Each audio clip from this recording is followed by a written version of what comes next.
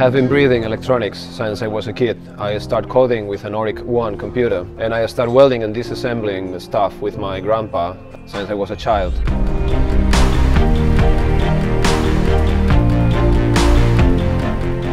When we were commissioned to design the puzzle phone by Alejandro, based on his idea, uh, we thought this would be just an, another uh, phone design. We are designing a device which people can use for the next 10 years.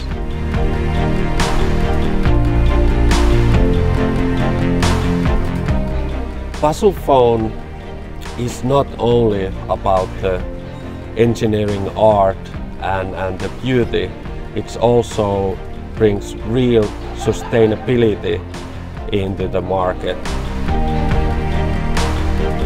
When Alejandro described puzzle phone, I thought immediately, well, this is true actually. When you crash your car or break the windscreen in your car, you don't throw the car away. That we are providing an open standard to the industry. So it's not just about manufacturing in the right way, it's not just about making the right design, it's also about leaving it open so anyone can follow it.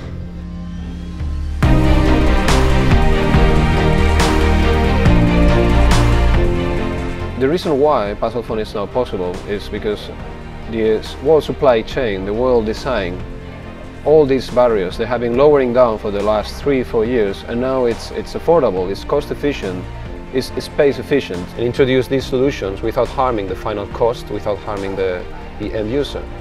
So now is, a, is the right time.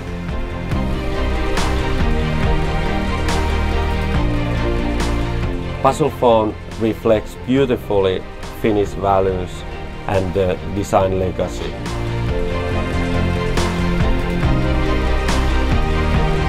Actually, the pieces of the puzzle, they are coming together quite nicely.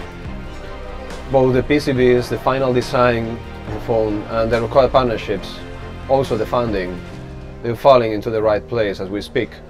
I am really looking forward to having a puzzle phone in my possession really soon.